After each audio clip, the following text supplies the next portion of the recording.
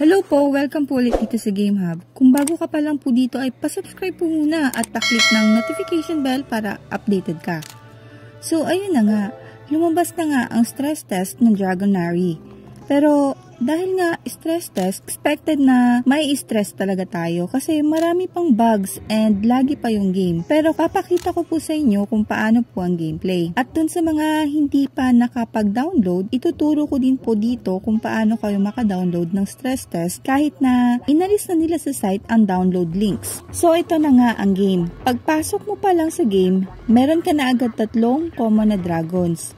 Ang elements ay earth, Bale, itong Earth, ito ang tank. Ang skill kasi nito ay sasaluhin niya lahat ng tira ng kalaban. Kung magaling ka sa timing ay kakayanin hanggang dalawang tira ng mga kalaban ang masasalo niya. Ito naman ang fire element. Bale, ito po yung pinaka-hitter sa team. Ang skill nito ay fireball na ititira mo sa isang target lang. Ito naman ang wind element. Ito ang nagsisilbing support ng team kasi ang skill nito ay healing. Although na support lang siya, nag-hit din po siya ng normal hit. Same lang din po sa tank na earth. Dito sa cave, makikita ang barracks. Dito ka mag arrange ng mga dragons mo according sa strategy mo. Anim ang slots, so bali maaring anim na dragons ang pwede mong ma-deploy at once. Kung gusto mo maging anim ang yung dragons, kakailanganin mong bumili ng starter pack na tag $19.99. Pero according naman sa site ay may chance makakakuha ng egg sa mga dailies pero siguro matatagalan nga lang. Pero sa ngayon, dahil tatlo lang ang dragons natin, pwede nating ilipat-lipat ang mga dragons according sa strategy natin. Like, itatago ko itong heater sa likod ng tanker. Pero hindi rin naman siya totally nakatago kasi makikita nyo mamaya kung bakit. Kasi tatamaan ka rin kahit na nasa likuran or may tanke sa harapan. Random po yung tira ng mobs. Dito din sa barracks, makikita ang mga equipment at ang iyong inventory na sa ngayon ay hindi pa accessible. Dito naman tayo sa altar. Dito ka mag-create ng eggs, mag-fuse ng dragons at mag-aalis ng mga upgrades mo. Kakailanganin ng embers ang bawat transaction na gagawin dito. Sa nakikita naman natin, may iba-ibang kulay ng embers. Maaring ito ay nakabase sa kung anong rank ng i-fuse mo. Merong common, uncommon, rare, and mythic. And lastly, itong nest. Given naman na sa name niya, dito i-hatch ang egg na na-create natin dun sa altar or na-loot natin from dailies and missions. Every level ng missions ay may mga stages. Sa mission 1, kailangan mong makapasa ng tatlong stages bago ka makakaproceed sa mission 2.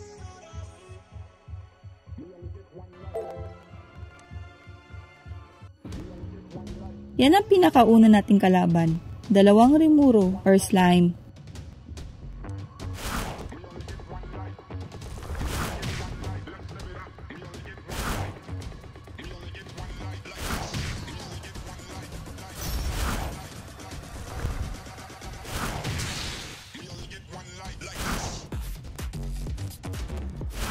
Every stage na maipasa mo ay meron kang makukuhang experience.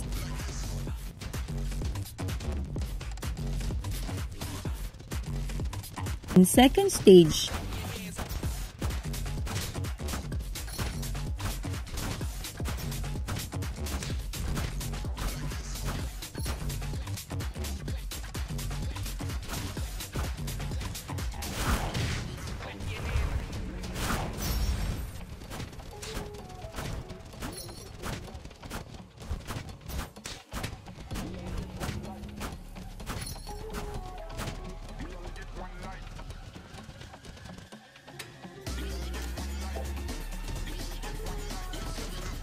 Ito, hindi ko lang sure kung ano ito.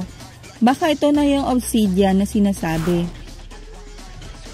Ito na nga at sa mission 2 na tayo. Dito, medyo mahirap na agad yung second stage ng mission 2. Kaya inuulit-ulit ko na lang sa stage 1. At dito din sa mission 2, naglabasan ang mga bugs and lags. Hindi lumalabas ang you lose pag natalo ka and kapag at kapag namamatay na ang fire dragon mo or almost dead na, nagahang na at titigil na silang tumira.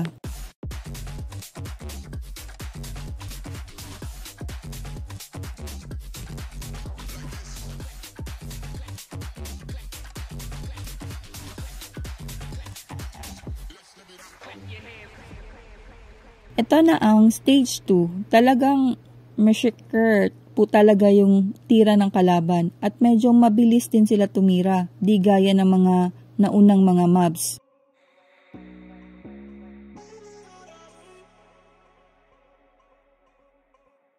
Ay ito na nga nang namatay ang fire dragon.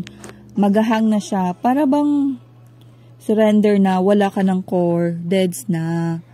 So, ang ginagawa ko, back to home or refresh ulit ang game. Then, balik ulit sa mission 2. Kasi, naglalag din kapag sa mission 1 ka pabalik-balik. Paulit-ulit lang na magpapa-experience dito.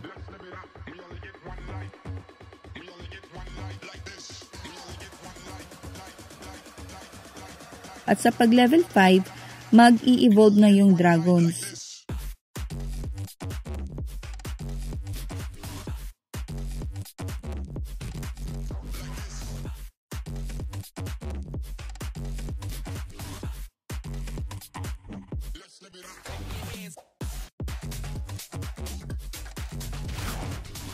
Ito na nga, level 5 na sila. Hindi ko lang sure kung every 5 level ba sila mag evolve Napaka nakaka-stress kasi ng stress test. Kasi nga, expected talaga na bug and lagi yung game.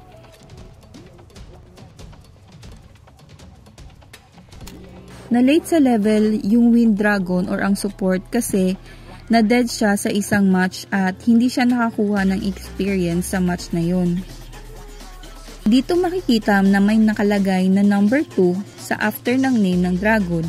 Maaring ibig sabihin ay second appearance at meron pang third and fourth and fifth and so on. Dito sa Wind Dragon na na behind, buwan lang ang nakalagay sa kanya kasi nga di pa siya nag level 5. Ipapa-level natin siya para makita natin ang pag-evolve niya.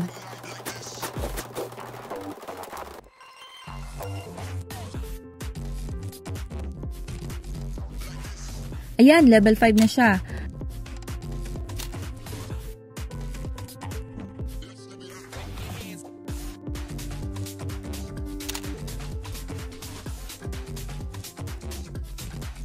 At ito na nga, lumilipad na siya. Napalitan na din yung number niya sa after ng name niya. Number 2 na. At sa mga gustong humabol at mag-download pero wala na ang download link sa site ng Dragonary, ito po ang gagawin.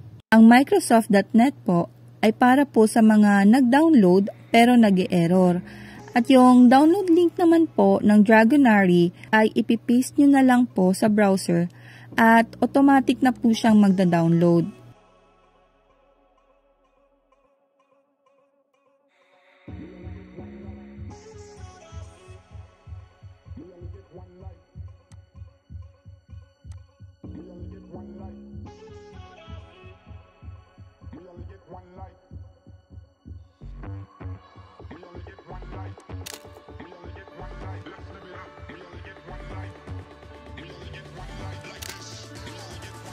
Dito ko na lang po nilagay sa notes.io ang mga link. Yun po, thank you for watching!